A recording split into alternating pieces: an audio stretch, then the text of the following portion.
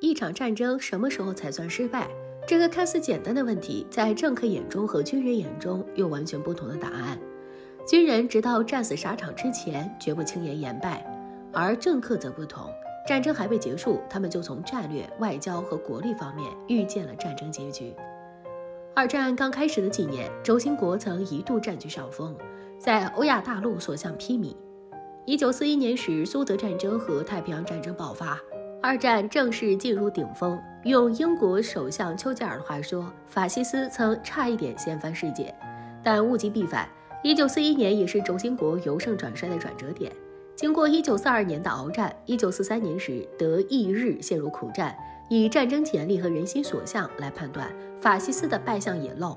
盟军的高层知道，战争必将以反法西斯阵营的失败告终。在全世界的政客们眼中，其实第二次世界大战在一九四三年末已经结束了。轴心国的失败是时间问题，如何管理战后世界被提上议程。但是在各国军人，尤其是狂热的法西斯战犯眼中，只要还有一个军人在战斗，就有胜利的机会，战争就远未结束。在这方面，德意日法西斯大不相同。意大利投降后，德国国防军内部也开始松动，一些意见分子甚至针对纳粹核心进行刺杀。而日本方面，虽然联合舰队一败再败，航母被击沉，大量优秀飞行员战死，但是日本人仍然觉得自己有机会翻盘。日本海军先后组织了一号作战、二号作战，妄图在太平洋大败美军。不过，一号作战和阿号作战最终都以失败告终。尤其是阿号作战失败后，其实日本已经失去了跟美国掰手腕的资本。日本在西太平洋的制空权和制海权全部丧失。可是，日本东京大本营还不死心，他们紧接着制定了在国防圈内决战的作战计划，取名为“捷号作战”。捷乃汉字中胜利的意思。日军在日薄西山时，却还抱着胜利的幻想。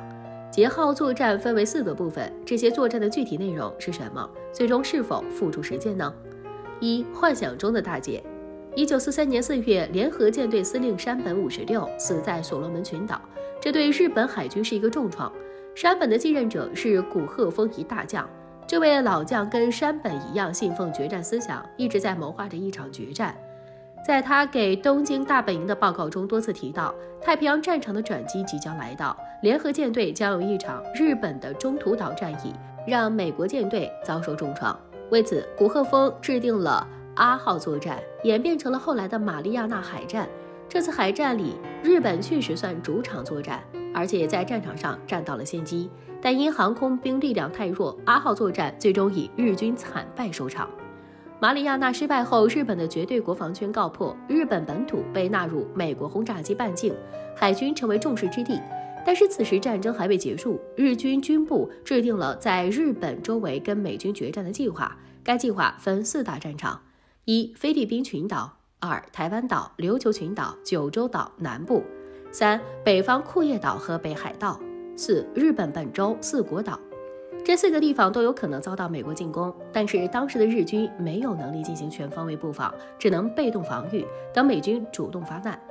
对于这些地区的防御，日军制定了捷号作战，分别命名为捷一号作战及菲律宾战役，捷二号作战及日本南部群岛，杰三号作战及日本本州四国，杰四号作战及千岛群岛、库页岛、北海道。二失去制海权，日军变成瞎子。军事行动讲究有的放矢，最忌纸上谈兵。军事目的应该精准、简单、实际，基层部队才能有执行力、有战斗力。而日军的杰号作战显然不具备这些特点。四个战略地点相隔几千公里，完全是在地图上排兵棋，而不像在打仗。捷号作战如此混乱，其根本是因为日本已经失去了重要的制海权。对岛国来说，制海权就是生命所在。尤其是日本这种资源匮乏的工业国，海陆运输维系着国家运转。为了保护自己的海上生命线，日本从二十世纪二十年代就制定了一条国策，大力发展海军，争取与英美列强并列，并在未来战争中打败美国。在此国策的刺激下，日本果然建立起不可一世的日本联合舰队。在一九四一年最鼎盛时期，联合舰队实力超过英国皇家海军，仅次于美国，位居世界第二。这支海军是日本打太平洋战争的资本，海军在，制海权在，海陆运输就在，所谓的大东亚圣战就能坚持。而到了一九四四年六月后，日本已经彻底失去了制海权，美国海军切断东南亚的原材料运输，而且可以从海上起降飞机打击东亚地区任何地方的日本基地。当时的日本军部可以用抓瞎来形容。东京大本营天天开会，讨论着下一步的战争计划。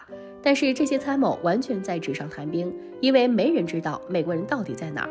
在太平洋上，日本唯一可以得到的信息来自海军侦察机和少得可怜的潜艇。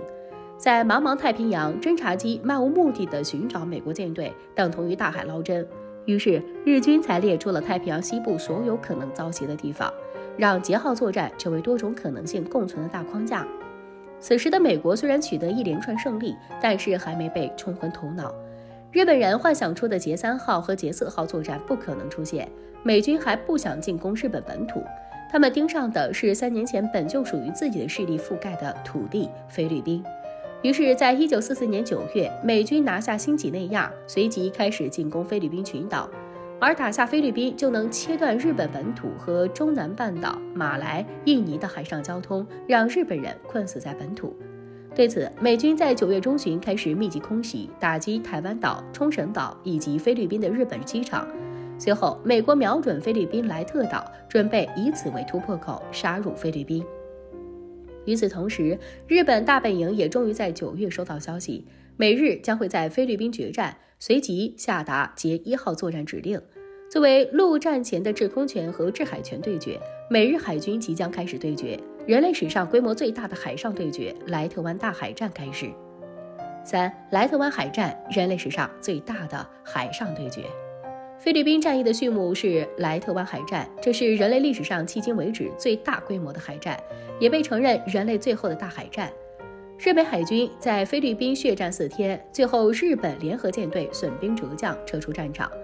双方的大战在一九四四年十月十七日打响，在基本摧毁了东太平洋的日本航空兵后，美军开始进攻莱特岛。其实，在一个月前，美国本想直接进攻台湾岛，但是鉴于日本大部队囤积在菲律宾，为了歼灭日本有生力量，配合陆军北上，美国太平洋第三、第七舰队才开始准备菲律宾战役。陆军方面，美军出动了第六、第八两个集团军，由麦克阿瑟上将指挥。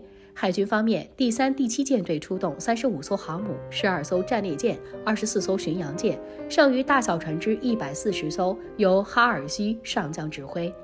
日本联合舰队方面，丰田富虎司令于十月二十日派遣第二、第三、第五三个舰队前去莱特湾参战。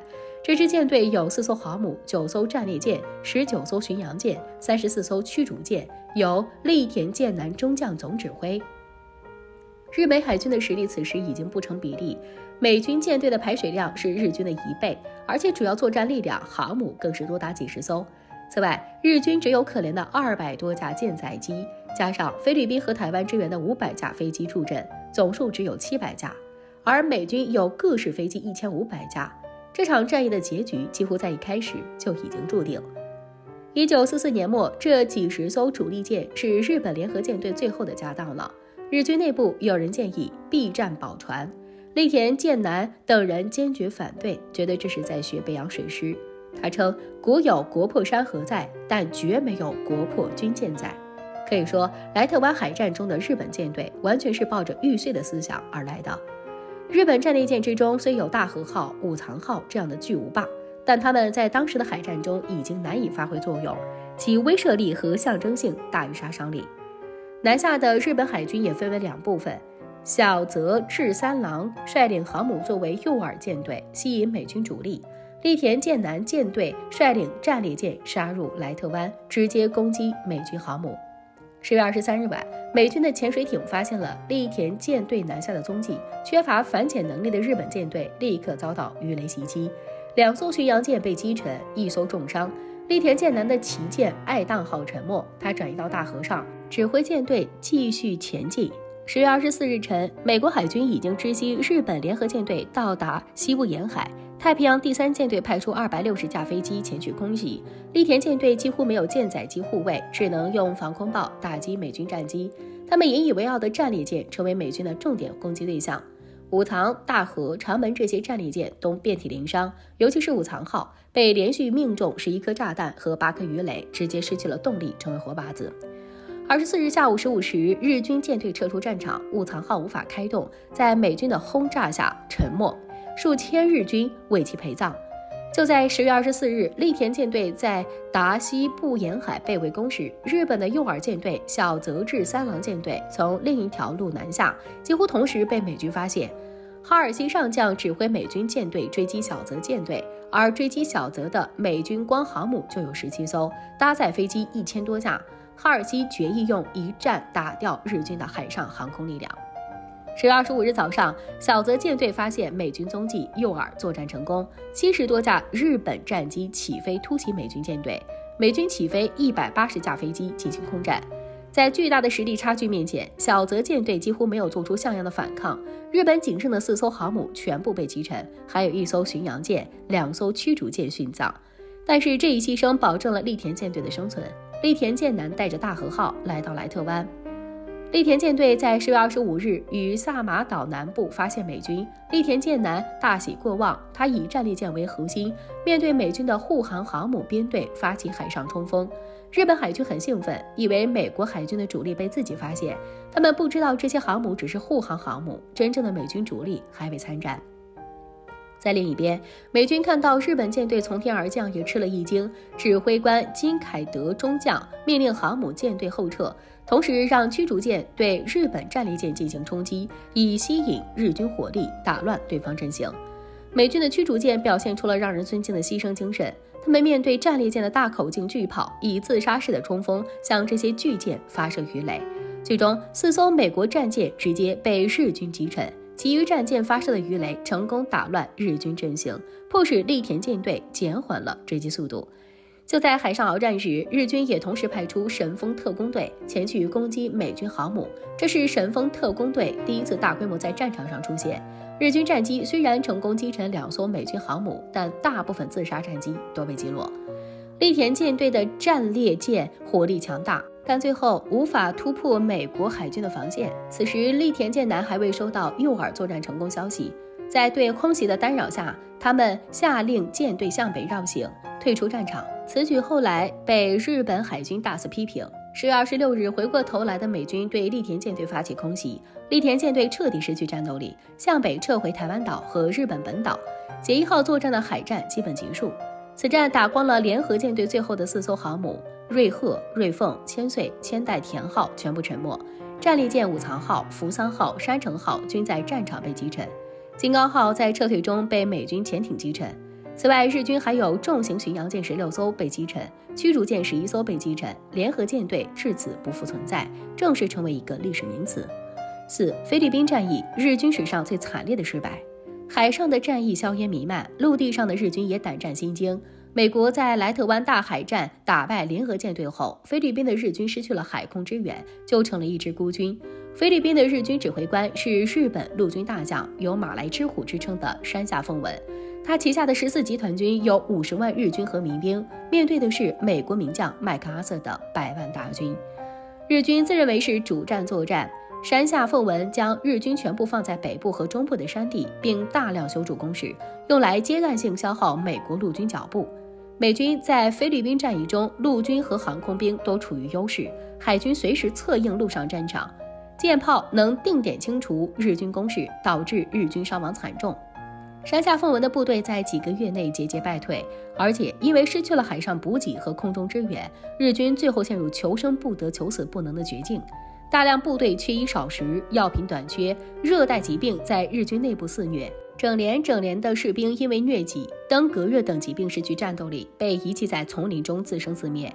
因为食物的短缺，日军在热带雨林里寻找一切可以吃的东西果腹，甚至包括战友的尸体。在美军的回忆录里，他们发现了一个日军部队的茅坑，其颜色是乌黑色。后来军医警示道，只有吃纯肉时，人才会排泄出黑便。联想到在日军营地找到的白骨，白军士兵感觉自己是在跟魔鬼作战。在菲律宾的战役最关键的吕宋岛战役，日军守军建武集团三万大军最后仅有一千人生还，死亡率高达百分之九十七；日本正武集团十万大军仅有一万人幸免于难。